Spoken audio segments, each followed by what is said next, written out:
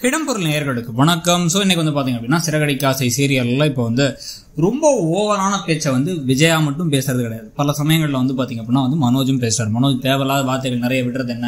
அது மட்டும் இல்லாமல் வந்து தன்னோட தம்பி வந்து படிக்காதவன் என்னை பார்த்து பொறாம நான் ரொம்ப அழகாக இருக்கேன் நான் வந்து நிறைய படிச்சிருக்கேன் நான் ஜம்முன்னு இருக்கான்ல அப்படின்னு எல்லாம் இருந்து என்னப்பா பிரயோஜனம் பத்து பைசா சம்பாதிக்க வைக்கலாம் தானே பாருங்க நீ போட்டிருக்க ட்ரெஸ்ஸே உன் தம்பியோட தான் சொல்லும் போது கொஞ்சம் கூட மான வெக்கம் ரோஷம் எதுவுமே வரல. கல்யாண செலவு எல்லாத்தையுமே அவங்க அம்மா கடன் வாங்கி செஞ்சாங்கிறது தெரிஞ்சும் அந்த பணத்தை திருப்பி கொடுக்கறதுக்கு எதுவும் வரல. அம்மா அந்த மாதிரிலாம் பணம் கேட்க மாட்டாங்க. நகையெல்லாம் கொடுக்க மாட்டாங்க. அப்படின்ட்டு அம்மாவே பார்த்து சமாளிச்சுப்பாங்க. அப்படின்னா உங்க அம்மா சம்பாதிக்கிறாங்களா? உங்க அம்மா வாழ்க்கை முழுக்க ஹவுஸ் ஒய்ஃபாக இருந்தவங்க. உங்க கையில் காசு கிடையாது. உங்கள் அப்பாவோட சம்பாத்தியம் மட்டும்தான். உங்கள் அப்பாவோட சம்பாத்தியமும் இப்போ இல்லை. அவருக்கு பென்ஷன் காசும் வரதில்லை. எதை பற்றியும் கோலப்படாமல் இதில் வேற ஆனால் வந்து அப்படியே ராஜபோகமாக வாழணும். அந்த ஆசை மட்டும் வச்சிருக்கிற ஒரு மட்டமான வாழ் தான் அவர். ஸோ இப்போ இந்த சமயத்தில் இப்போ அவர் எல்லாரும் முன்னாடியும் வச்சு அதுவும் ஹோட்டலில் வச்சு எங்கள் அப்பா ஒரு மஞ்சமாக்கான் அப்படின்னு நான் வந்து பேசுறதுக்கான என்ன ஒரு நெஞ்செழுத்தம் வேணும்? அதனால தான் பலார் அப்படின்னு ஒன்று விடுறாரு. இப்போ முத்து வேற விட்டு கையை வேற உடச்சி விட்டுறாரு.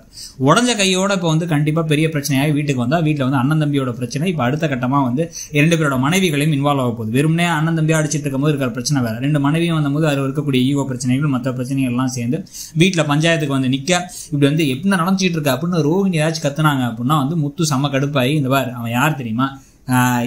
மீனாவை கல்யாணம் பண்ணிக்கிறதுக்காக காசு கேட்டு எங்கள் அப்பாட்ட காசு வாங்கினான். அந்த காசை வந்து வாங்கிட்டு இன்னொரு பொண்ணோட ஓடி போனான். அந்த காசை ஏமாந்து திருப்பி வந்தான். வேற வழி இல்லாமல் நானும் மீனாவும் கல்யாணம் பண்ணிட்டோம் அதனால தான் நாங்கள் இன்னும் வந்து ஒரு ஒன்றா க்ளோஸாக இல்லாமலாம் இருக்கோம் அப்படிங்கிறது புரிஞ்சா ரோஹினிக்கு என்ன ஒரு பெரிய ஷாக்காக இருக்க போகுது.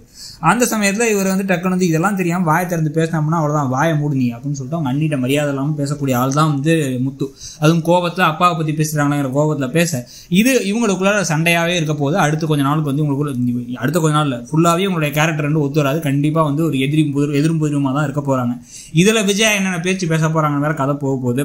ஆனால் முத்து பேசுறத விட வந்து ரொம்ப ரூடாலாம் ஒன்றும் யாரும் பேசுகிற போகிறது கிடையாது. ஆனால் வந்து மீனா என்னன்னா வந்து பாயிண்டாக பேசுகிறவங்க அவங்க எப்பயுமே இதே மாதிரி பாயிண்டோட பேசி ஏதாச்சும் கொஞ்சம் ஓவராக மட்டும் பேசுனாங்க இவங்க இவங்க ரோஹிணி திருப்பி பேசுனாங்கன்னா அந்த பாருங்க அவங்க அண்ணன் தம்பிகள் இருக்க பிரச்சனை. அது மட்டும் இல்லாமல் உங்க அவரோட கேரக்டர் என்னங்கிறது தெரியாமல் நீங்கள் எங்கள்கிட்ட வந்து பேசாதீங்க. அப்படின்னு வந்து மீனாவும் இதில் இன்வால்வ் ஆகிறதுக்கும் வாய்ப்புகள் இருக்குது மீனா திருப்பி கொடுப்பாங்களா? ப்ளஸ் முத்து வந்து மனோஜோட கையை உடச்சு விட்றாருங்கிறத பற்றிலாம் உங்களுக்கு கருத்து என்னங்கிறத சொல்லுங்க. தேங்க் இடம்பொருள்